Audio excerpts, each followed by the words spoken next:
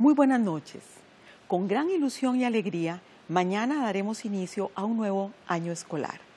Casi un millón de niños, niñas, jóvenes y adultos comienzan este nuevo ciclo lectivo.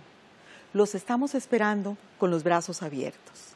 En el curso lectivo 2018 impartiremos 11 nuevos programas de estudio como parte de una política curricular nueva que aprobó el Consejo Superior de Educación. Uno de esos programas es el de Educación para la Afectividad y Sexualidad Integral. La educación para la afectividad y sexualidad integral es un derecho de nuestros estudiantes que garantiza el disfrute de otros derechos, como el derecho a la salud, a la seguridad, a vivir una vida sin violencia. Al cumplir con esta responsabilidad, el sistema educativo complementa y apoya y nunca sustituye la labor del hogar.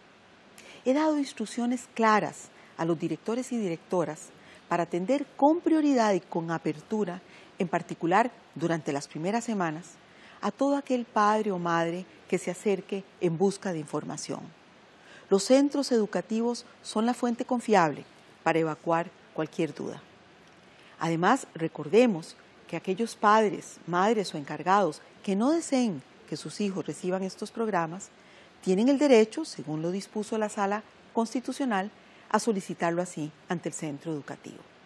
Respetaremos el derecho de estos padres y madres y también el de aquellas familias que ya han manifestado su interés en que sus hijos sí reciban esta formación. Mañana es un día muy importante para nuestros estudiantes. Celebremos el derecho a la educación en un ambiente de serenidad y respeto a los derechos de todos y de todas.